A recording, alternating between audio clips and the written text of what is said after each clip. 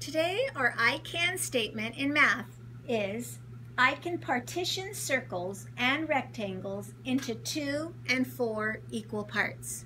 Repeat that after or with me, actually. I can partition circles and rectangles into two and four equal parts. One more time. I can partition circles and rectangles into two and four equal parts. The word partition means divide. Today we're going to learn about fractions. A fraction is a whole divided into equal parts. A fraction is a whole divided into equal parts. If I have a whole pizza, the pizza can be divided into equal parts. That means each piece should be the same. One whole pizza divided into equal parts. If I cut my pizza, how many parts do I have? I have two parts. One out of two, one out of two pieces. If I cut the pizza again in half, now I have four equal parts.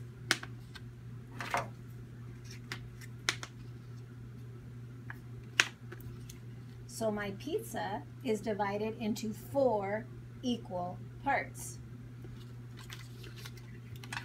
If I have one whole graham cracker, how many parts is the graham cracker divided into? I have four equal parts. So four would go into the box. Four equal parts. One whole graham cracker divided into four parts. One out of four, one out of four, one out of four, one out of four. I even have a real graham cracker here. One whole graham cracker. If I were to break it in half, I don't have two graham crackers. I have one whole graham cracker divided into two equal parts. I can divide it again.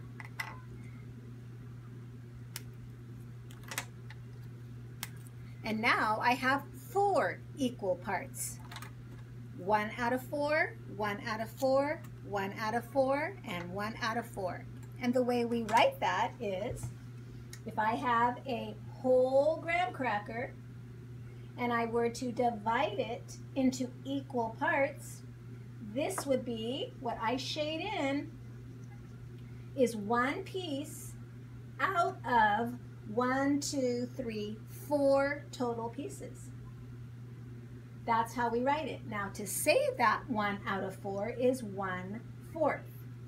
If I were to color in two of the pieces, that is called two out of the four pieces or two fourths. Okay, now I have a blue bar, one whole blue bar. We could call that a blueberry bar, we could call it a chocolate bar, whatever you want to call it, that's one whole bar. If I am to divide it into two pieces,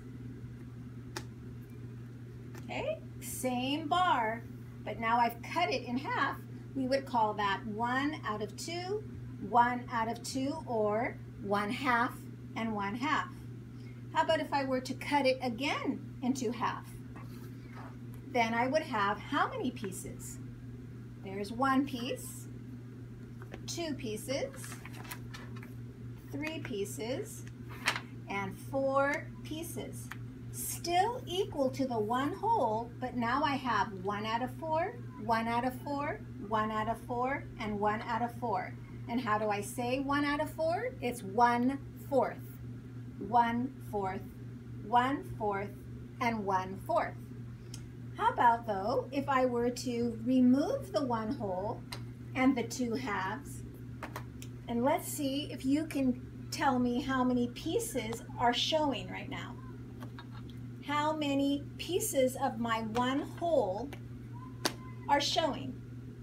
Well, we would say one out of four, one out of four, and one out of four is three fourths. So I would write that as three fourths. Our lesson today was about fractions. A fraction is a whole divided into equal parts.